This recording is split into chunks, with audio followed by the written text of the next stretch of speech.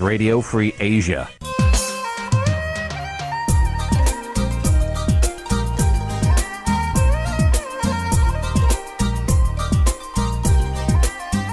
វេទិកាអ្នកស្ដាប់វិទ្យុអាស៊ី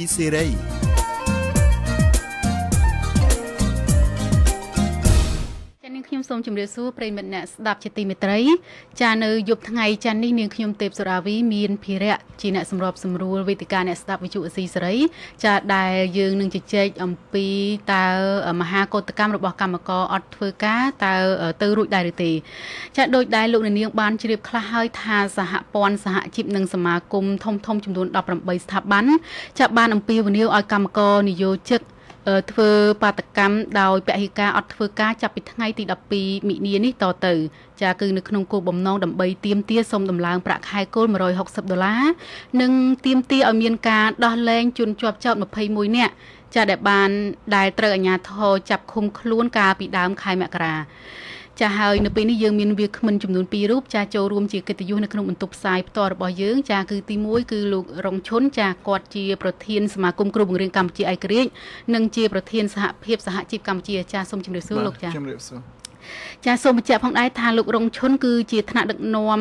សមាគមមួយក្នុងចំណោមសហព័ន្ធសហជីពនិងសមាគមធំធំទាំង18ស្ថាប័នចាដែលបានអំពាវនាវឲ្យកម្មករធ្វើមហាកោតកម្មអត់ធ្វើការចាហើយមួយរូបទៀតនោះគឺលោកមឿនដុល្លារចាលោកគឺជាប្រធានកម្មវិធីសិទ្ធិការងារនៃមជ្ឈមណ្ឌលអប់រំច្បាប់សម្រាប់សហគមន៍ចាសូមជម្រាបសួរលោកចា ចាលោកអ្នកនាងអ្នកស្ដាប់ជាទីមេត្រីចាវិទ្យុអសីសេរីក៏បានដាក់លិខិតអញ្ជើញតំណាងក្រសួងការងារចាមកចូលរួមក្នុងកម្មវិធីយើងដែរចាប៉ុន្តែរហូតមកដល់ម៉ោងផ្សាយនេះចាខាងក្រសួងការងារនៅមិនទាន់ឆ្លើយតបលិខិតមកយើងខ្ញុំទេចាយើងក៏មានការសោកស្ដាយផងដែរចំពោះក្រសួងការងារដែលមិនបានឲ្យតំណាងរបស់ខ្លួនមកចូលរួមដើម្បីជាការសួរដេញដោលពីបញ្ហាផ្សេងផ្សេងតាក់ទងទៅនឹងស្ថានភាពកម្មករនៅក្នុងវិស័យកាត់ដេរ ចាលោកអ្នកនាងអ្នកស្ដាប់ជាទីមេត្រីចាកាលពីដើមខែមករាកន្លងទៅចាមានកម្មកររោងចក្រច្រើនម៉ឺននាក់ចាបានចេញមកតវ៉ានៅខាងក្រៅរោងចក្រខ្លះហ្នឹងក៏តវ៉ានៅតាមដងផ្លូវចាហើយខ្លះហ្នឹងក៏នៅខាងក៏នៅមុខក្រសួងការងារចាដើម្បីតវ៉ាទាមទារសុំដំឡើងប្រាក់ខែគោលឲ្យបាន160ដុល្លារចាហើយការទាមទាររបស់កម្មករនោះ ខាងកម្លាំងប្រដាប់អាវុធមានការបង្ក្រាបចាដោយបានបាញ់សម្លាប់មនុស្សចំនួន5នាក់ចាហើយរបួសជិត40នាក់និងមានមនុស្សជាង20នាក់ទៀតបានចាប់ខ្លួន នៅក្នុង ពេលដែលពួកគេតវ៉ាទាមទារដំឡើងប្រាក់ខែនោះចាហើយការទាមទារនោះបរាជ័យចាគឺជាលទ្ធផលក្រសួងការងារបានប្រកាសដំឡើងប្រាក់ខែគោលឲ្យកម្មករត្រឹម100ដុល្លារចាហើយចំនួននេះធ្វើឲ្យកម្មករខ្លះហ្នឹងមិនពេញចិត្តទេ ចាដោយលើកឡើងថាมันគ្រប់ទៅនឹងការចំណាយផ្សេងផ្សេងដោយសារតែទំនិញគ្រប់សារពើនឹងបានឡើងខ្ពស់ចាហេតុនេះហើយទើបមានសហព័ន្ធសហជីពនិងសមាគមធំធំទាំង18ហ្នឹងបានព្យាយាមអំពាវនាវឲ្យកម្មករងើបតវ៉ាទាមទារដំឡើងប្រាក់ខែម្ដងទៀត ចាប៉ុន្តែយុទ្ធសាស្ត្រនេះគឺខុសពីលើកមុនចាដោយស្នើឲ្យកម្មករចូលរួមធ្វើមហាកោតកម្មនឹងដោយគ្រាន់តែឈប់សម្រាកនៅផ្ទះទៅ ចាហើយកុំមកចូលធ្វើការឬក៏មកធ្វើការដែរប៉ុន្តែកុំមកកន្លែងធ្វើការដែរប៉ុន្តែកុំចូលធ្វើការចាត្រង់ចំណុចនេះចាលោករងឈុនចាចង់ ចង់ឲ្យលោកបញ្យល់បន្តិចថាហេតុអីក៏សហព័ន្ធសហជីពនិងសមាគមរបស់លោកផ្ទាល់ហ្នឹងបានជ្រើសរើសយកវិធីសាស្ត្រហ្នឹងហើយលោកគិតថាវិធីវិធីសាស្ត្រហ្នឹងអាចមានប្រសិទ្ធភាពនៅក្នុងការទៀមទាត់ដំឡើងប្រាក់ខែគោល160ដុល្លារទីចាសសូមអញ្ជើញបាទសូមអរគុណសូមជម្រាបសួរបងប្អូនជនរួមជាតិជាពិសេសកម្មករកម្មការិនីហើយយើងនៅតែបាំងមួយថ្ងៃទៀតទេ ដល់ថ្ងៃទី12ហើយដែលជាថ្ងៃចាប់ផ្ដើមមហាកុតកម្ម ទូទាំងប្រទេសនៅតាមបណ្ដារោងចក្រកាត់ដេរស្បែកជើងនិងសម្លៀកបំពាក់ជុំវិញការសម្រេចរបស់ថ្នាក់ដឹកនាំសហព័ន្ធទាំង18ដែលយើងជ្រើសរើសយកថាធ្វើមហាកុតកម្មនៅនឹងកន្លែងទៅទៅកន្លែងរោងចក្រឬនៅផ្ទះដោយមិនមិនធ្វើការជំរើសហេតុផលដែលយើង ជ្រើសរើសយកជំរើសនេះយើងគិតថាវាមានប្រសិទ្ធភាព ក្នុងការជំរុញឲ្យមាន ដំណោះស្រាយជូនដល់បងប្អូនកម្មករកម្មការិនីហើយជោគជ័យមិនជោគជ័យអាស្រ័យទៅនឹងការចូលរួម របស់បងប្អូនកម្មករកម្មការិនីបើយើងចូលរួម បានលើសពី70%អអានឹងយើងនឹង ទទួលបានដំណោះស្រាយហើយសូមជម្រាបបងប្អូន កម្មករកម្មការិនីទាំងអស់ខ្ញុំទទួលស្គាល់ថាយើងធ្វើមហាកតកម្មមានផលប៉ះពាល់ខ្លះហើយហើយយើងធ្វើវិនិយោគទុន យើងចង់បានចំណេញយើងចង់បានដំណោះស្រាយ យើងចង់បានផលប្រយោជន៍ប្រាក់ឈ្នួលមួយសមរម្យបើយើងមិនហ៊ាន លះបង់ផលប្រយោជន៍បន្តិចបន្តួច ដើម្បីចាប់យកផលប្រយោជន៍ធំ ពេលនឹងហើយយើងនឹងរងគ្រោះមួយជីវិតអញ្ចឹងឥឡូវនឹងយើងរងគ្រោះហើយស្រេចហើយមិនមែនធ្វើកតកម្មបដកម្មរងគ្រោះទេដោយសារតែរងគ្រោះនឹងហើយ បានជាថ្នាក់ដឹកនាំសហព័ន្ធសហជីពប្រកាសធ្វើដោយដោយយើងប្រើយុទ្ធសាស្ត្រ ដំណាក់កាលដំណាក់កាលទី1យើងយុទ្ធនាការចែកលិខិតអំពាវនាវបន្ទាប់មកយើងធ្វើពហិការមិនថែម៉ោងចាប់ពីថ្ងៃ24អឺកុម្ភៈមកបន្ទាប់មកនៅថ្ងៃ8មីនានេះយើងធ្វើវេទិកាសាធារណៈប៉ុន្តែអ្វីដែលយើងមានការសោកស្ដាយអញ្ញាធរបានពង្រាយកម្លាំងពេញនៅទីលានដែលយើងមិនអាចទៅប្រមូលផ្ដុំ ធ្វើវេទិកានោះបាន ហើយឥឡូវដំណាក់កាលចុងក្រោយនេះគឺធ្វើមហាកុតកម្មពាក្យមហាកុតកម្មនេះយើងដើម្បីបញ្ជាកុំឲ្យមានការបង្ហូរឈាមកុំឲ្យមានការប៉ះទង្គិចពីសំណាក់អាជ្ញាធរមកលើបងប្អូន កម្មករកម្មការនីអញ្ចឹងបើយើងទៅកន្លែងធ្វើការ ហើយយើងនៅឈរសំដែងមតិតាមបណ្ដារោងចក្រ របស់យើងនីមួយនីមួយហើយថ្នាក់ដឹកនាំសហព័ន្ធនឹងចុះឃ្លាំមើលរួមជាមួយភ្នាក់ងារអង្គការសិទ្ធិមនុស្សក៏ដូចជាភ្នាក់ងារស្ថានទូតនឹងចុះឃ្លាំមើលតាមបណ្ដារោងចក្រដើម្បីការពារសវត្ថភាពដល់បងប្អូន កម្មករកម្មការនេះហើយបើសិនជានៅឈរនៅ តាមមុខបណ្ដារោងចក្រមានកងកម្លាំងចល័តឬមួយមក ធ្វើសកម្មភាពណាមួយសុំឲ្យបងប្អូន កម្មករកម្មការនីយើងវិលត្រឡប់ទៅសម្រាប់នៅផ្ទះទៅធ្វើម៉េចឲ្យចង្វាក់នៃផលិតកម្មនឹងកៀងនៅពេលនឹងហើយដែលយើងនឹងទទួលបានដំណោះស្រាយចាចុះរហូតមកដល់ពេលនេះតើខាងលោកមានបាន ទូទូទីមើលទេថាតើកម្មករប្រហែលជាប្រមាណភាគរយដែលនឹងចូលរួមធ្វើមហាកោតកម្មមិនធ្វើការនៅថ្ងៃទី12នេះចាបើខ្ញុំធ្វើមកជាមតិទៅហើយខ្ញុំទទួលបានព័ត៌មានត្រឡប់ពីថ្នាក់ដឹកនាំមូលដ្ឋានយើងឃើញមកដល់ពេលនេះ មានប្រមាណ60%ដែលត្រៀមខ្លួនចាំចូលរួមជាមួយសហជីព ផ្សេងផ្សេងទៀតហើយក៏ខ្ញុំសូមជម្រាប ទៅដល់សមាជិកសមាជិកាកម្មករកម្មការិនីយើងកុំប្រកាន់នៅថាអូសហជីពអ្នកនេះដឹកនាំសហជីពអ្នកនោះដឹកនាំនេះជាផលប្រយោជន៍រួមរបស់យើងទាំងអស់គ្នាទេមិនមែនផលប្រយោជន៍រងឈុនឬផលប្រយោជន៍ មេសហព័ន្ធណាមួយនោះទេ គឺ ផលប្រយោជន៍បងប្អូន កម្មករកម្មការនីអញ្ចឹងនៅថ្ងៃ12ហ្នឹងសូមឲ្យបងប្អូន កម្មករកម្មការនី ត្រូវតែធ្វើកតកម្មទាំងអស់គ្នា ដើម្បីទៀមទីឲ្យមានការដោះលែង អ្នកទាំង21អ្នកដែលកំពុងជាប់ពន្ធនាគារទី2ទៀមទាធ្វើម៉េចឲ្យដំឡើងប្រាក់ខែអបបរមាយើង ដល់160ដុល្លារជូនបងប្អូនយើងបាទចាអរគុណច្រើនណាស់លោករងជុនចាចុះលោកមឿនតុលាវិញតើខាងលោកយល់ឃើញយ៉ាងម៉េចដែរចំពោះការដែលធ្វើមហាកោតកម្មអត់ធ្វើការនេះតាចាខ្ញុំមើលមើលទៅឃើញយុទ្ធសាស្ត្រនេះវាជារឿងមួយប្លែកពីលើកកន្លងមកដល់កន្លងថ្មីថ្មីមកហើយប្រហែលជាយុទ្ធសាស្ត្រមួយដែលសហព័ន្ធសហជីពលោកយកមកប្រើដើម្បីគិតអំពី ការប្រើប្រាស់ហិង្សាកន្លងមកយើងឃើញថាមិនមែនទៅ ការធ្វើកុតកម្មគឺជាការអត់ធ្វើការអឺដោយនៅ ក្នុងសហសហគ្រាសឬក៏គ្រឹះស្ថានហ្នឹងប៉ុន្តែអ្វីដែល ជាបញ្ហាកន្លងមកនៅពេលដែលបងប្អូនកម្មករកម្មការនីលោកធ្វើកោតកម្មអត់ធ្វើការទៅ នៅក្នុងរោងចក្រហ្នឹងយើងទទួលបានព័ត៌មានថាវាមានការរំខានដូចជាមានការបញ្ជូនកម្លាំងប៉ូលីសកម្លាំងនគរបាលអីទៅរំខានគាត់ចឹងហើយបកជាមានកម្លាំងណាមួយដែលកម្លាំងផ្សេងទៀតដែលមិនមែនជាមានឯកសន្តានជាឯកសន្តានស៊ីវិលបកទៅជាមានបញ្ហារហូតដល់មានការ ប្រើពើងហ ংস ានៅថ្ងៃទី2ថ្ងៃទី3អញ្ចឹងអញ្ចឹងការដែលប្រើប្រាស់យុទ្ធសាស្ត្រនៃការនៅតាមផ្ទះរៀននឹងខ្លួនខ្ញុំគិតថាកន្លែងនេះគឺជាយុទ្ធសាស្ត្រមួយសុវត្ថិភាពបំផុតហើយវាមានប្រសិទ្ធភាពប្រសិនបើបងប្អូនកម្មករកម្មការិនីចូលរួមបានច្រើនគឺវាមានប្រសិទ្ធភាពព្រោះថាកាលណាគាត់អត់មកធ្វើការវាធ្វើឲ្យសង្វាក់ផលិតកម្មហ្នឹងគឺវាអត់ដែរអឺសំណួរសួរថាហេតុអីបានជា អត់មកធ្វើការធ្វើឲ្យសង្វាក់ផលិតកម្មអត់ដើរហើយមានប្រសិទ្ធភាពគឺ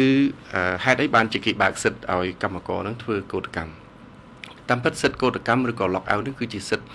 កម្មករគាត់មានសិទ្ធិធ្វើកោតកម្មដែលឡែកនយោជកគឺមានសិទ្ធិធ្វើ lock out អានេះគឺជាសិទ្ធិស្របច្បាប់ដែលធានាដោយរដ្ឋធម្មនុញ្ញហើយធានាដោយច្បាប់ការងារនៃរាជាណាចក្រកម្ពុជាគេឲ្យសិទ្ធិនេះប្រើដើម្បីដាក់សម្ពាធឲ្យភាគីម្ខាងទៀត ធ្វើតាមនៅអ្វីដែលឬក៏ផ្ដល់ឲ្យនៅអ្វីដែលជាការទៀមទីរបស់ភាគីមួយទៀតរបស់ភាគីខ្លួនឧទាហរណ៍ដូចជាកម្មករអញ្ចឹងដើម្បីដាក់សម្ពាធដល់នយោជកព្រោះសិទ្ធិ3ដែលដែលដែលធានាដោយច្បាប់ហ្នឹងគឺសិទ្ធិក្នុងការចងក្រងគ្នាធ្វើជាសហជីពឬក៏សមាគមហ្នឹងមួយមួយទៀតក្រៅពីបានចងក្រងគ្នាធ្វើជាសមាគមឬក៏សហជីពហើយគាត់មានសិទ្ធិមួយទៀតគឺសិទ្ធិក្នុងការចរចាជាសមូហភាពអញ្ចឹងចរចាជាសមូហភាពនេះ កម្មករក៏អត់មានអំណាចអីទេដើម្បីដាក់សម្ពាធទៅឲ្យនយោជកចរចាជាមួយខ្លួនឥឡូវយើងមើលឃើញថ្ងៃនេះគឺសហជីពសំទោសនយោជកគាត់ជីគាត់ពង្រើយកន្តើយគាត់អត់បានចរចាគាត់អត់បានងាកមកចរចាអីទេគាត់ថា100ដុល្លារហ្នឹងគឺរដ្ឋាភិបាលបានកំណត់រួចហើយគាត់គ្រប់ទៅតាមច្បាប់ហ្នឹង ប៉ុន្តែខាងសហជីពគាត់ចង់ឲ្យមានការចរចាប្រាក់ឈ្នួលនឹងឲ្យបានដល់160ដុល្លារអញ្ចឹងដើម្បីដាក់សម្ពាធនឹងច្បាប់ឲ្យសិទ្ធិមួយទៀតគឺសិទ្ធិក្នុងការធ្វើកោតកម្មធ្វើកោតកម្មដើម្បីបង្អាក់ដល់សង្វាក់ផលិតកម្មហ្នឹងកាលណាបើសង្វាក់ផលិតកម្មអត់ដែរវាធ្វើឲ្យមានសម្ពាធមួយដល់នយោជកដោយព្រោះបើកាលណាអត់មាន សង្វាក់ផលិតកម្មវាអត់មានផលិតផលបើអត់មានផលិតផលគឺរកស៊ីទៅក៏វាវាអត់មានចំណូលដែរអានឹងគឺជាចំណុចមួយដែលដែលធ្វើឲ្យអឺដែលធ្វើឲ្យនយោជកនឹងងាកមកចរចាជាមួយនឹងខាងភាគីកម្មករនិយោជិតវិញចាតាមលោករងឈុនវិញគាត់លើកឡើងថាតាមគាត់គិតមើលទៅថាប្រហែលជា60%នៃកម្មករដែលចូលរួមនៅពេលនោះតើតាមលោកវិញតើលោកសិក្សាមើលតើអាចនឹងដល់កម្រិតនឹងទេឬក៏យ៉ាងម៉េចចាខ្ញុំមើលទៅឃើញ អ្វីដែលជាយុទ្ធសាស្ត្ររបស់សហជីពកន្លងមកលោកបានធ្វើពី3ជំហានមកហើយ ទី1លោកបានផ្សព្វផ្សាយអឺបោះជាលិខិតប័ណ្ណហើយផ្សព្វផ្សាយអំពីកម្មវិធីរបស់សហជីពថានឹងធ្វើ សកម្មភាពមួយចំនួនក្នុងនោះរួមទាំងមាន8មិនិនាកន្លងមកថ្មីថ្មីផងដែរអឺទី2គឺការធ្វើកតកម្មដោយអត់មកធ្វើការចាប់ពីថ្ងៃទី12រហូតដល់ថ្ងៃទី14ហើយថ្ងៃទី15គាត់មកកន្លែងនេះប៉ុន្តែគាត់អត់មកធ្វើការឬមួយក៏អាចផ្លាស់ប្ដូរយ៉ាងម៉េចអានឹងយុទ្ធសាស្ត្ររបស់គាត់ទី3គឺគាត់នឹង សំទោសខ្ញុំរំលងមួយគឺសកម្មភាពរបស់គាត់មួយទៀតគឺរឿងអត់ធ្វើការថែម៉ោងអញ្ចឹងយើងឃើញការអត់ធ្វើការថែម៉ោងក៏មានប្រសិទ្ធភាពរបស់គាត់ដែរអញ្ចឹងបើយើងបូកចំនួនសមាជិករបស់សហជីពទាំងអស់ទាំង8នៅក្នុងវិស័យកាត់ដេរហ្នឹង ហាក់ដូចជាខ្ញុំបូកត្រួសត្រាសតាមដែលព័ត៌មានដែលទទួលបានពីពួកគាត់ហ្នឹងគឺបូកទៅវាជាប់20ម៉ឺនអ្នកជាងដែរហើយអញ្ចឹង20ម៉ឺនអ្នកជាងគឺបើសិនជា20ម៉ឺនអ្នកជាងហ្នឹងគាត់ព្យាយាមបញ្ចុះបញ្ចូលជាមួយនឹងសមាជិករបស់គាត់ផ្សេងៗគឺថាអាចបានទោះយ៉ាងណាក៏ដោយគឺអានេះជាការបូកប៉ាន់ស្មានរបស់ខាងខ្ញុំទេហើយ ហើយបើសិនជាខ្ញុំប៉ុន្តែខ្ញុំជឿទៅលើអ្វីដែលលោករងជនបានលើកឡើងថាអាចមានចំនួន60%នៃសមាជិករបស់ពួកគាត់ឬក៏60%នៃកម្មករទាំងអស់ចូលរួមអានឹងវាជារឿងមួយល្អប៉ុន្តែគ្រាន់តែអ្វីដែលសំខាន់គឺថាបើការចូលរួមរបស់កម្មករបានច្រើនពេលណា គឺយើងជោគជ័យកាន់តែខិតចិត្តដៃដល់ប្រជាដល់កម្មករពេលនោះ ចាចាអរគុណច្រើនណាស់ចាមុននឹងសាកសួរទៅវាគ្មិនយើងទៀតនាងខ្ញុំសូមអនុញ្ញាតទទួលប្រិមិត្តយើងមួយរូបសិនចាគាត់នៅខេត្តកំពង់ចាមចាសូមជម្រាបសួរលោកហូចាអឡូជំរាបសួរបងចាសូមអញ្ជើញលោកចាបាទដំបងខ្ញុំសូមជំរាបសួរលោកលោកគ្រូរងសុននិងលោកមុនតាណាបងបាទបាទជំរាបសួរបាទបាទអឺខ្ញុំសួរថានិយាយសួរថាបើសិនជាពេលយើងធ្វើកោតកម្មនឹងទៅណា បើធ្វើបដកម្មគេថាមានបដកម្មប្រឆាំងមានបដកម្មគ្រប់គ្រងអញ្ចឹងគឺខ្លាចទៅពេលកោតកម្មមានកោតកម្មប្រឆាំងហើយមានបមានកោតកម្មគ្រប់គ្រប់គ្រងទៀតណាអញ្ចឹងនិយាយទៅជាគេហៅថាទី3ហ្នឹងបាទដៃទី3អញ្ចឹងណាទៅសំដែងគាត់និយាយអញ្ចឹងណាហើយមួយទៀតសំណួរទី2របស់ខ្ញុំគឺចង់សួរដល់លោកមានប្រមាណមើលថាបើសិនជាកាក់រឿងអញ្ចឹងទៅតើដោះស្រាយយ៉ាងម៉េចប្រមាណຕົកអញ្ចឹងណាហើយមួយទៀត អឺបើសិនជាបើសិនជាឥឡូវបើសង្វាក់ផលិតកម្មហ្នឹងវាស្អាតវាឈប់វាវារាំងគ្នាមែនអញ្ចឹងអ្នកដែលប៉ះពាល់មុនគេគឺកម្មករកម្មករនឹងអត់ការងារធ្វើអញ្ចឹងណាមិនអត់តាតកែរោងចក្រណាតកែរោងចក្រគឺបានតលុយចាស់គេហើយយើងតែយ៉ាប់ជាងគេគឺកម្មករអត់លុយជួផ្ទះជួទឹកភ្លៀងអញ្ចឹងណាបាទរបស់ខ្ញុំក៏មានតែប៉ុណ្ណឹងចាអរគុណច្រើនណាស់លោកហូចា ចាលោករងឈុនសំណួរទី1ផនលោកហូថាបើសិនជាមានកោតកម្មជួសកោតកម្មចាកោតកម្មប្រឆាំងហើយនឹងកោតកម្មមួយទៀតគ្រប់គ្រងអញ្ចឹងចាអឺតើអាចនឹងមានវិធីអីសះអីនៅក្នុងការដោះស្រាយបើសិនជាមានករណីនោះចាអរគុណលោកហូតាមការពិតទៅកោតកម្មវាមិនរូបភាពវាផ្សេងពីបដកម្មអញ្ចឹងបើសិនគេមានកោតកម្មអឺគ្រប់គ្រង ខ្ញុំមកគិតថាវាកាន់តែប្រសើរហើយបើសិនកម្មករមួយក្រុមទៀតគាត់មកកោតកម្មគ្រប់គ្រងដែរហ្នឹងវាធ្វើឲ្យអឺចង្វាក់ផលិតផលហ្នឹងគៀងទៅទាំងអស់ហើយពេលហ្នឹងរោងចក្រត្រូវបិទទ្វារ100%បើថាបិទទ្វារតែ70% 60%នៅពេលគាត់កោតកម្មគ្រប់គ្រងទៀតអាហ្នឹងវាទៅ100%អញ្ចឹងចង្វាក់ផលិតផលហ្នឹងល្អប្រសើរហើយយើងគិតថាវាល្អបើសិនតែមានកោតកម្មហ្នឹងកើតឡើងពីព្រោះរូបភាពកោតកម្មយើងអង្គុយនៅមួយកន្លែង ហើយបើគាត់កោតកម្មគ្រប់គ្រងអានឹងសិទ្ធិរបស់គាត់ដែរគាត់អង្គុយនៅមួយកន្លែងដែរទៅឬមួយថាអូយើងខ្លាចប៉ះតកិច្ចគ្នាយើងនាំគ្នាក្រុមគ្នាយើងយើងទៅសម្រាប់នៅផ្ទះទៅពេលពេលហ្នឹងអត់មានបញ្ហាអីកើតឡើងទេបាទអាហ្នឹងយើងអាចជាកម្មប្រឆាំងប្រឆាំងទៅនឹងការមិនមកធ្វើការនឹងវិញក្នុងករណីនឹងវិញតើពេលនោះលោកមានវិធីអីដោះស្រាយទេចាសំណួរគាត់គាត់ចង់បានអញ្ចឹងចាអឺយើងគិតថាកោតកម្មប្រឆាំង ពីព្រោះកោតកម្មវាវាដូចខ្ញុំជម្រាបខាងដើមអញ្ចឹងវាវាខុសគ្នានឹងបដកម្មអញ្ចឹងវាអត់អាចអីមកឆាឆៅគ្នាបានទេសំខាន់គាត់នៅផ្ទះរៀងរៀងខ្លួនទៅវាអត់មានអ្វីដែលកើតឡើងទេអានឹងដែលយើងបជានៅបញ្ហាកើតឡើងបញ្ហាប៉ះទកិច្ចគ្នាបានហើយហើយតកតងទៅនឹងកម្មករអត់មានការងារធ្វើកម្មករអត់មានថ្លៃបងថ្លៃផ្ទះការ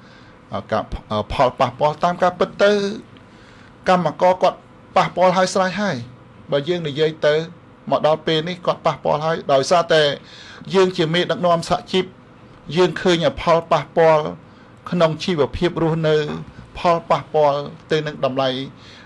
បន្ទប់តម្លៃថ្លៃផ្ទះតម្លៃទឹកតម្លៃភ្លើងនឹងហើយ បានជាយើងនាំគ្នាខិតខំរៀបចំធ្វើម៉េចដើម្បីធ្វើយុទ្ធនាការ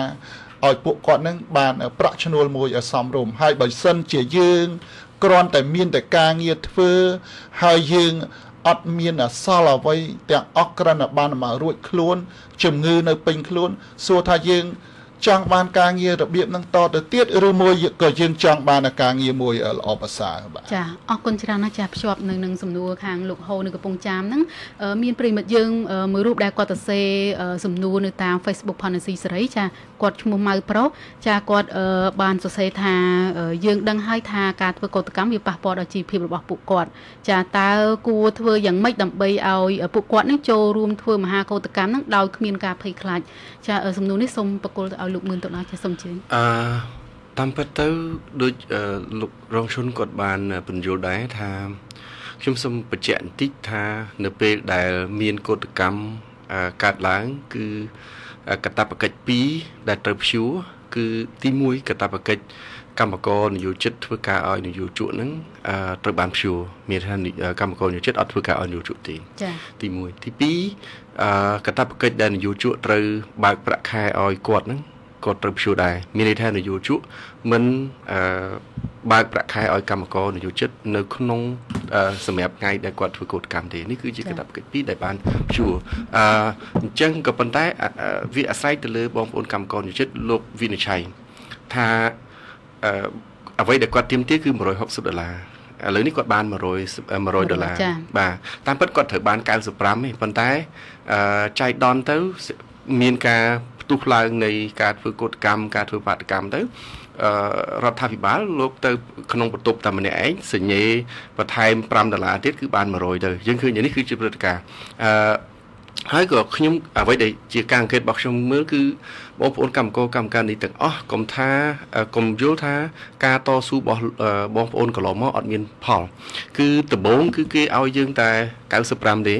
ប៉ុន្តែនៅពេលដែលយើងតវ៉ាទៅគឺគេតម្លើងឲ្យ5ទៀតយើងបាន100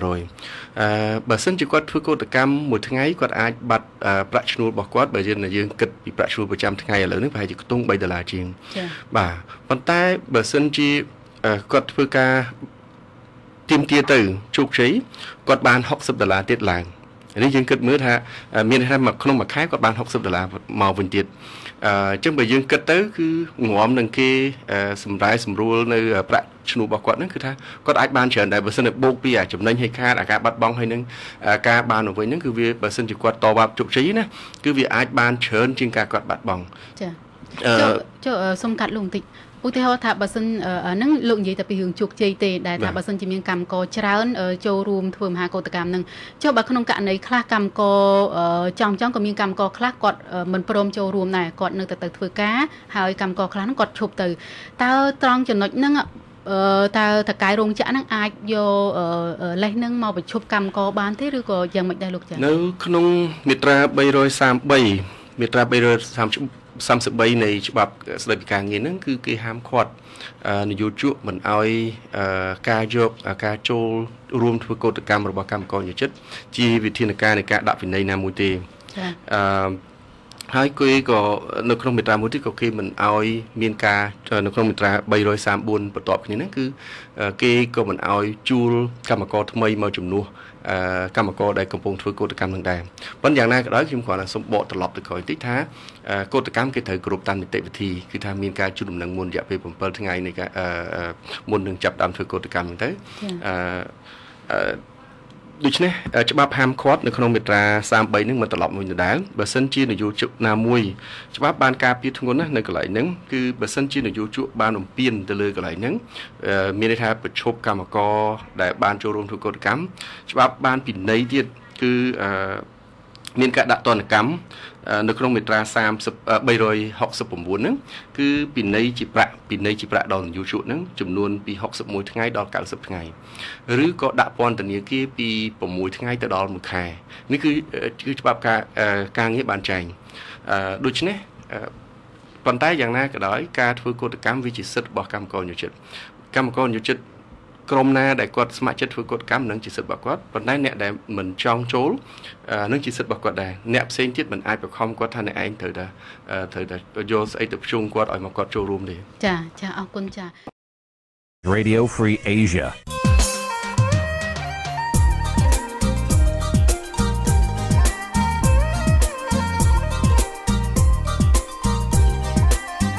វេទិកាអ្នកស្ដាប់វិទ្យុអាស៊ីសេរី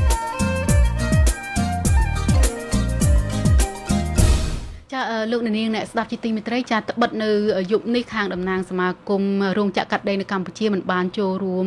ក្នុងការសួរដេញដោលពីរឿងនេះក្តីចាប៉ុន្តែលោកជាតិខេមរាចាជាមន្ត្រីជាន់ខ្ពស់នៃសមាគមរោងចក្រកាត់ដេរនៅកម្ពុជានឹងបានប្រាប់តាមទូរស័ព្ទចានៅព្រឹកមិញនេះថាលោកមិនជឿថាកម្មមានកម្មករច្រើនទេដែលស្ម័គ្រចិត្តនឹងចូលរួមធ្វើមហាកោតកម្មដោយកម្មពីវនីរបស់សហព័ន្ធសហជីពនោះចាហើយលោកបន្តថាកម្មករភិជាច្រើនបានពេញចិត្តទៅនឹងប្រាក់ខែសប្តាហ៍ថ្ងៃនេះហើយចាគឺមានន័យថា100ដុល្លារចាហើយបើកម្មករអត់ធ្វើការនោះគឺកម្មករទេជាអ្នកខាត់ចាឥឡូវនេះយើងសូមស្ដាប់ប្រសាសន៍លោកជាតិខេមរាបន្តិចសិនចាយើងអត់ទាន់ដឹងថាគាត់ចូលរួមប្រមាណមិនប្រមាណដល់ទេតែគ្រាន់យើងដឹងថានៅក្នុងសហជីពប្រមាណនោះគាត់មានសមាជិកប្រមាណនៅក្នុងរោងចក្រនឹងហើយក្នុងរោងចក្រនោះមានសមាជិករបស់គេផ្សេងផ្សេងដែរមិនមែនគាត់ទាំងដុលទេ អញ្ចឹងនៅក្នុងនោះក៏មានយន្តការដេញឆ្លាក់ដឹកនាំសហជីពមួយមួយគាត់ទៅចលនាទៅកម្មករគាត់ដែរអញ្ចឹងការចលនាក៏ចលនាធ្វើឲ្យកម្មករអឺគាត់ធ្វើការពិចារណាហើយតែអ្វីដែលគួរគាត់ចូលរួមអ្វីដែលគាត់មិនចូលរួមហើយបើគាត់ចូលរួមគាត់ទៅបាត់បង់អីឬក៏បានផលអីខាតប្រយោជន៍ស្អីអាហ្នឹងអាហ្នឹងជារឿងសិទ្ធិរបស់គាត់ក្នុងការគាត់សម្រេចប៉ុន្តែបើសិនជា វាមានការចូលរួមមែនវាចូលរួមមកមួយចំណែកណាមួយនោះហើយមួយចំណែកណាមួយនោះវាប៉ះពាល់មិនមែនថាប៉ះពាល់ទេប៉ុន្តែគ្រាន់ថាការផលប៉ះពាល់តិចឬច្រើនតែប៉ុណ្្នឹងទេប៉ុន្តែគ្រាន់ថាវាចិត្តដល់រដូវដែលចូលឆ្នាំខ្មែរចូលឆ្នាំចឹងហើយយើងឃើញទស្សនៈកម្មករមួយចំនួនតែគាត់បានប្រាប់មកគាត់បានបង្ហាញមកគាត់ថាប្រាក់ខែខែនេះគាត់បើកបានច្រើនហើយគាត់សប្បាយចិត្តណាអញ្ចឹង គាត់យល់ថាបើប៉ុណ្ណឹងគាត់អាចទៅដំណើរការរួចហើយធ្វើឲ្យរោងចក្រអាចដំណើរការបានសម្រាប់ជីវភាពរបស់គាត់រស់ទាំងអស់គ្នាអានឹងគាត់ទទួលយកអានឹងកំណត់របស់គាត់យើងដឹងស្រាប់ហើយទៅទៅបានហើយយើងទីផ្សារតាមស្ថានសង្ឃតាំងពីការងាររដ្ឋបាលមួយចំនួនហើយនឹងកិច្ចការមួយចំនួនដែលយើងចំណាយអ្វីៗឡើងថ្លៃ អ្វីៗវាឡើងថ្លៃតែប្រាក់ឈ្នួលឡើងថ្លៃអ្វីៗឡើងថ្លៃដែរអញ្ចឹងវាអត់មានន័យសម្រាប់ការឡើងប្រាក់ឈ្នួលតែសិនជាមិនមានវិធានការណាមួយទប់ស្កាត់មិនឲ្យទំនិញទីផ្សារទំនិញនេះវាវានៅនឹងនៅស្ទើរនោះវាឡើងតាមអត្រាហ្នឹងគឺទោះបីឡើងយ៉ាងម៉េចគឺអត់អត់អត់មានធ្វើទៀតទេអញ្ចឹងសេចក្តីត្រូវការរបស់ខាងក្រមនៅតែធ្វើការរហូត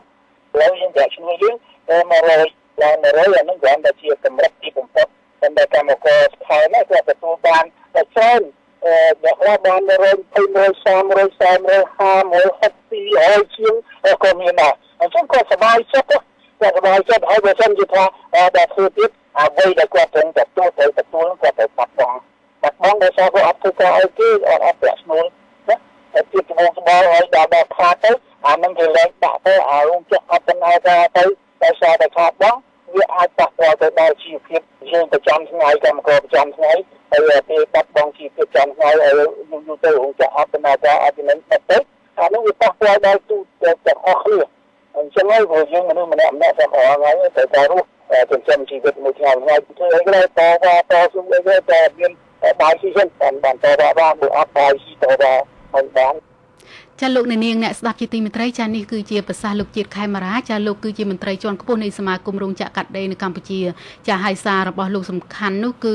ការមិនចូលធ្វើការរបស់កម្មករនឹងគឺអាចធ្វើឲ្យវិស័យកាត់ដេរនឹងមានភាពច្របូកច្របល់ចាដែលធ្វើឲ្យរោងចក្រនឹងអាចបិទទ្វារនឹងទៅវិនិយោគនៅប្រទេសផ្សេងត្រង់ចំណុចនេះវិលមកលោករងឈុនវិញតើលោកហាក់ដូចជាជឿជាក់ណាស់ថានឹងមានកម្មករប្រហែលជា60%ដែលនឹងចូលរួមធ្វើមហាកោតកម្មនឹងតើលោកមានការព្រួយបារម្ភនេះថាបើសិនជាមានកម្មករធ្វើកោតកម្មច្រើនអញ្ចឹងវិស័យកាត់ដេរនឹងអាចនឹងមានការច្បោកច្បល់ដោយលោកជាតិខេមរាលើកឡើងហើយនឹងមានការរត់ទៅវិនិយោគនៅប្រទេសគេនេះចា៎តាមការពិតទៅត្រង់ចំណុចហ្នឹងយើងលើរាប់សិបឆ្នាំហើយឲ្យតែមានការដឹកនាំការទៀមទាលក្ខខណ្ឌការងារការទៀមទាប្រាក់ឈ្នួលទាំងរដ្ឋាភិបាលទាំង សមាគមរោងចក្រកាត់ដេរទាំងសហជីពដែលមាននានាការគ្រប់គ្រងរដ្ឋាភិបាល តែងតែនិយាយថាវាយបំបែកឆ្នាំងបាយខ្លួនឯងរោងចក្រកិច្ចចេញពីកម្ពុជាប៉ុន្តែមកដល់ថ្ងៃនេះយើងឃើញរោងចក្រកាន់តែកើនឡើង វាវាមិនមិនដែលឃើញរោងចក្រណាបិទទ្វារដោយសារតែកម្មករកោតកម្មបដកម្មនេះហើយថ្មីថ្មីនេះ ខ្ញុំឮលោកនាយករដ្ឋមន្ត្រីលើកឡើង មានការភ្ញាក់ផ្អើលដែរគាត់ក៏ថាឃើញតែក្រុមហ៊ុនត្អែត្អូនខាតខាតប៉ុន្តែក្រុមហ៊ុនហ្នឹងអត់មានប័ណ្ណទ្វារអីសោះគាត់និយាយពេលថ្មីថ្មីប្រជុំកាលហ្នឹងស្អីវេទិកាទី17រវាងរដ្ឋាភិបាលនិងវិស័យឯកជនហ្នឹងចា៎បាទហើយឥឡូវយើងមើលមើលជាក់ស្ដែងគ្មានរោងចក្រណាកិច្ចវេះពីកម្ពុជាយើងទេ ក្នុងកថាលក្ខខណ្ឌការធ្វើកតកម្មបាតកម្មសំខាន់ដែលអ្នកវិនិយោគទុន គេមិនសូវសប្បាយចិត្តជាមួយនៅថាមកបដាក់ទុននៅកម្ពុជាយើង គឺបញ្ហាពុករលួយ បញ្ហាថ្លៃទឹកថ្លៃភ្លើងថ្លៃ បញ្ហាហេដ្ឋារចនាសម្ព័ន្ធអឺអាក្រក់បញ្ហាអឺក្រោមតុកលើតុអានឹងវានៅក្នុងថាអង្គើពុករលួយហ្នឹងហើយ អាហ្នឹងដែលយើងត្រូវធ្វើការកែលម្អមិនមែនរោងចក្រកិច្ចវេសពីកម្ពុជាដោយសារបដកម្មកោតកម្មនោះឯងចាអរគុណច្រើនចាឥឡូវនេះអឺនាងខ្ញុំសូមអនុញ្ញាតទទួលប្រិមិត្តយើងមួយរូបទៀតចាគឺនៅខេត្តបាត់ដំបងចាលោកកកដាចាជំរាបសួរចាសូមអញ្ជើញចាបាទបាទបាទជំរាបសួរនៅស្រីទេសាវីបាទចា៎អឺលោករងឈុនបាទជំរាបសួរវត្តឡាផងបាទបាទប្រជុំសួរ ជាដំបូងហ្នឹងដោយសារខ្ញុំអឺបានស្ដាប់ច្រើនទៅខ្ញុំមានការចាប់អារម្មណ៍ចំណុចមួយត្រង់ថាអឺកម្មករធ្វើបាតកម្មដើម្បីទាមទារប្រាក់តាមរងដុល្លារហ្នឹងហើយដល់ដល់ពេលរដ្ឋាភិបាលបាញ់អីចឹងទៅឲ្យចាប់កម្មករទៅដាក់គុកប្រទេសទៅឲ្យយើងតវ៉ាជាច្រើនលើកឡើងហើយនៅអត់បានដដែលវាចំណាប់អារម្មណ៍របស់ខ្ញុំនឹងថារដ្ឋាភិបាលធ្វើនេះវាធ្វើឲ្យពិភពលោកនឹងស្រក់ទឹកភ្នែកអ្នកខ្លះហ្នឹងក៏ដូចជាលើកអឺអឺខាងខាងនេះហ្នឹងគាត់ចេញប្រ សាសន៍មកថាគាត់ទ្រាំលែងបានហើយហ្នឹងគាត់រហូតដល់ឌៀនដាមដល់លោកជារដ្ឋមន្ត្រីខាងក្រៅនោះផងអានេះជាចំណាប់អារម្មណ៍របស់ខ្ញុំណាបាទគាត់និយាយក្នុងខ្លួនណាហើយសំណួររបស់ខ្ញុំខ្ញុំចង់សួរទៅលោករងឈុននេះថាលោកគិតយ៉ាងណាបើរដ្ឋាភិបាលហ្នឹងគឺថាអាយដំឲ្យលោកអឺមានទំនិតយ៉ាងណាដើម្បីធ្វើឲ្យរដ្ឋាភិបាលហ្នឹងគាត់គឺថាគាត់យកចិត្តទុកដាក់មកលើកម្មករយកជក់ដែលគាត់ខំប្រឹងធ្វើបាតកម្មដើម្បីទាមទារទីមួយគឺយើងទាមទារក្នុង21អ្នកដែលជាប់ក្នុងគុំខាងហ្នឹងផងហើយនឹង សម្លឹងប្រាក់បរិវត្តឲ្យបានដល់កម្រិតដែលយើងអាចរកបានព្រោះការគិតរបស់យើងហ្នឹងវាឃើញថាវាអាចប៉ុណ្ណឹងអាចបាន160ហើយបើរដ្ឋាភិបាលនៅតែពាំងអញ្ចឹងដដែលតែអាយដាមលោកក្នុងជនគិតយ៉ាងម៉េចនេះចំនួនរបស់ខ្ញុំវាប៉ុណ្ណឹងបាទចាអរគុណច្រើនណាស់លោកកកដាចាចាលោករងឈុនសូមអញ្ជើញចាបាទអរគុណលោកកកដាបាទហើយសំណួរនេះអឺល្អហើយមានសារៈសំខាន់អឺមអ្វីអ្វីយើង មិនចង់អឺធ្វើកោតកម្មបាតកម្មនោះទេយើងចង់អឺទៅចែកចរចា ដើម្បីរកដំណោះស្រាយជូនកម្មករកម្មការិនីប៉ុន្តែជំរឹះចុងក្រោយរបស់សហជីពជំរឹះចុងក្រោយគឺកោតកម្មបាតកម្មនឹងហើយ ដើម្បីជំរុញឲ្យមានដំណោះស្រាយជំរុញឲ្យចូលតុ ចរចា ហើយសំណួរសួរថាតើយើងធ្វើម៉េចដើម្បីឲ្យរដ្ឋាភិបាលអឺយកចិត្តទុកដាក់យើងដឹងហើយរដ្ឋាភិបាលដែលដឹកនាំដោយ លោកនាយករដ្ឋមន្ត្រីរាប់សិបទសវត្សរ៍មកហើយ ហើយបញ្ហាការយកចិត្តទុកដាក់ចំណាប់អារម្មណ៍ខ្លាំងគឺជាការប្រមូលផ្ដុំពីបងប្អូនកម្មករកម្មការនីហើយសូមភ្ជាប់ ទៅដល់អាណាព្យាបាលកម្មករកម្មការនីជួយជំរុញដើម្បីធ្វើម៉េចថ្ងៃ12នឹងឲ្យមានការចូលរួមឲ្យបានច្រើនកកកខ្ញុំគិតថាថ្ងៃ12មានសារៈសំខាន់បើមានការចូលរួមបានច្រើនកកករោងចក្របិទទ្វារចំណុចនឹងហើយដែលធ្វើឲ្យលោកនាយករដ្ឋមន្ត្រី មានការចាប់អារម្មណ៍ហើយនឹងអ្នកវិនិយោគទុននឹងងាក មកចូលតុចរចាជាមួយមេដឹកនាំសហជីពដើម្បីផ្ដល់ស្វែងរកនៅដំណោះស្រាយជូនកម្មករបាទចាអរគុណច្រើនលោករងឈុនចាអឺបើយើងកលេចមកអឺរដ្ឋាភិបាលនិងតកែរោងចក្រវិញអឺបានអឺឲ្យកម្មករទទួលយកប្រាក់ខែគោល160អឺសំទោស100ដុល្លារហ្នឹងទៅ ចាប៉ុន្តែអឺ ដឹងហើយថាខាងអ្នកសេដ្ឋកិច្ចហ្នឹងបានលើកឡើងហើយថា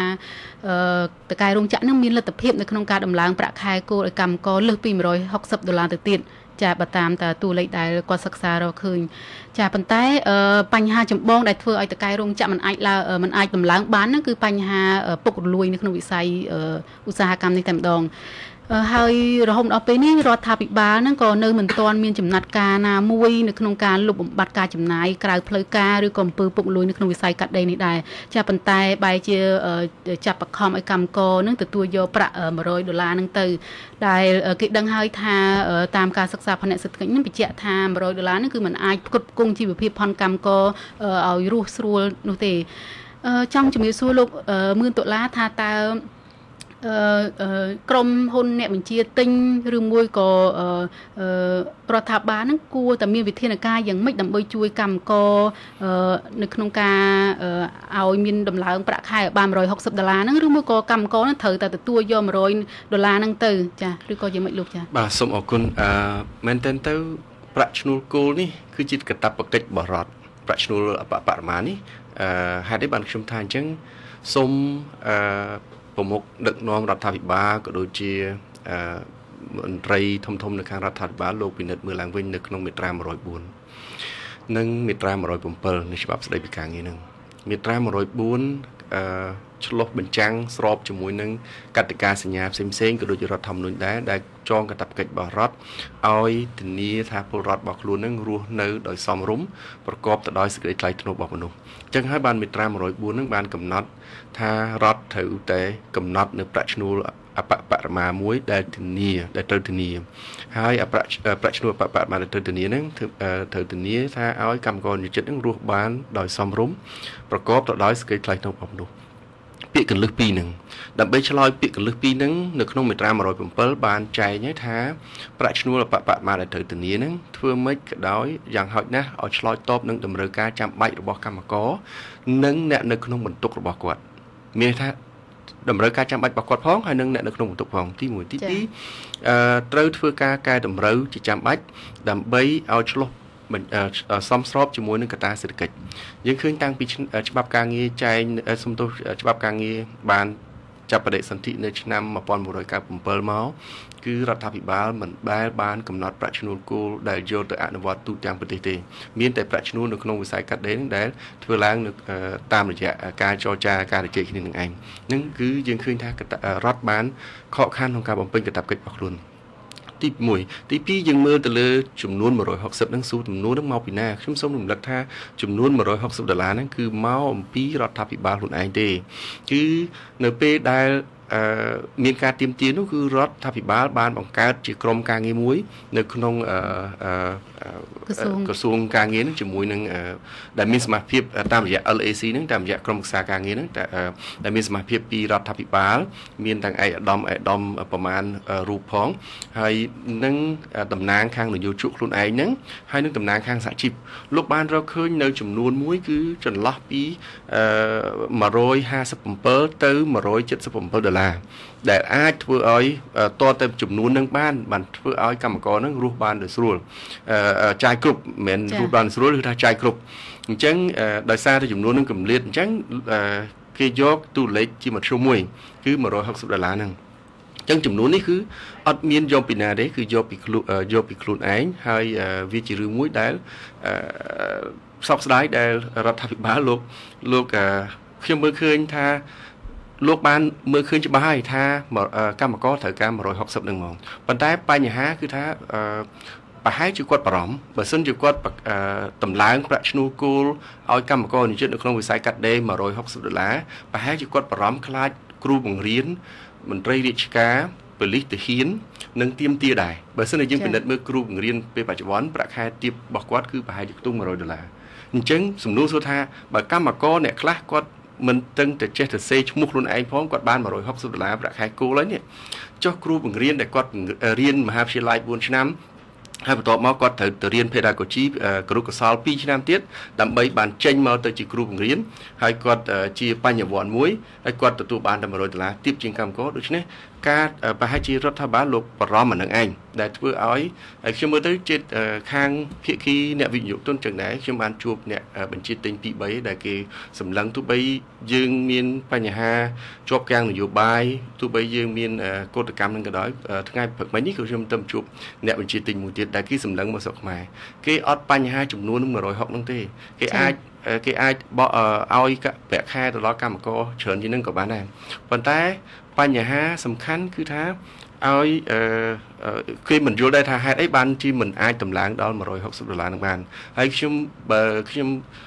ចាំមិនខុសទេថ្ងៃនេះប្រហែលជាលិខិតមួយដែលចុះហត្ថលេខាដោយអ្នកបញ្ជាទិញសំខាន់សំខាន់ទាំងអស់ នៅស្រុកខ្មែរហ្នឹងរួមជាមួយនឹងសហព័ន្ធសហជីពសកលហ្នឹង